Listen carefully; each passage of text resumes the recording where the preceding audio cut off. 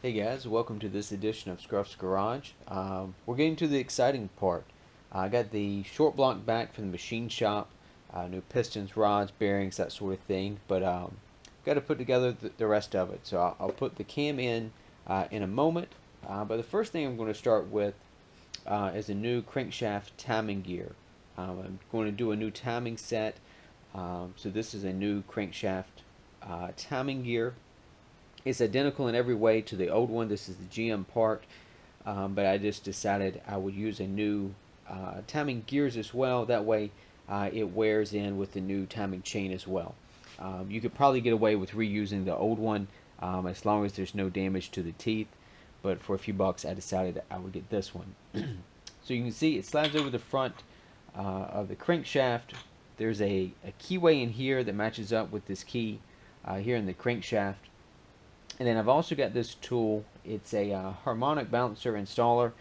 Uh, this is the economy version. Uh, there's there are fancier ones. I paid about 20 bucks for this from uh, Summit Racing. Um, basically, it's just a threaded rod that threads in to the front of the crankshaft. It's got a couple of uh, washers and then a nut um, that helps press this on because it is a press fit. So when you slide this on, like I said, spins freely and then it gets it lines up with the keyway. So make sure you've got that lined up.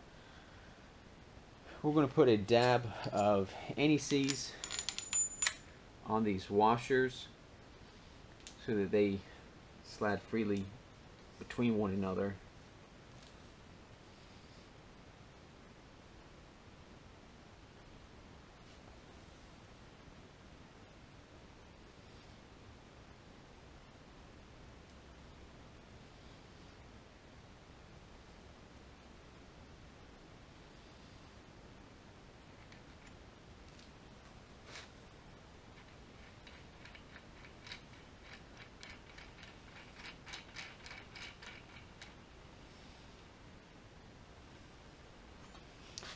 This is a 15 16th uh, nut.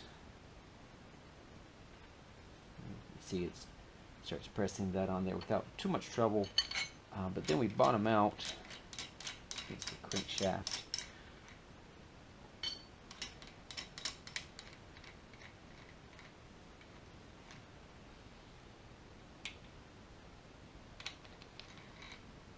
So I think I should be able to use the old gear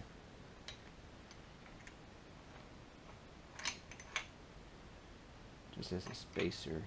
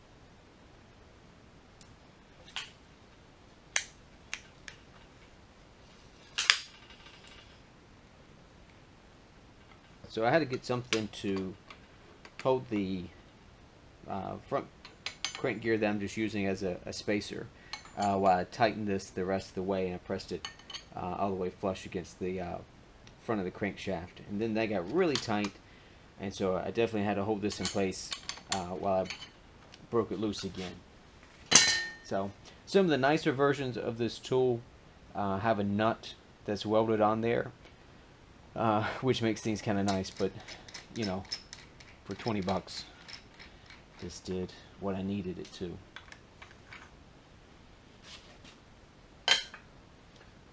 So there we go. Um, crank uh, timing gear pressed on.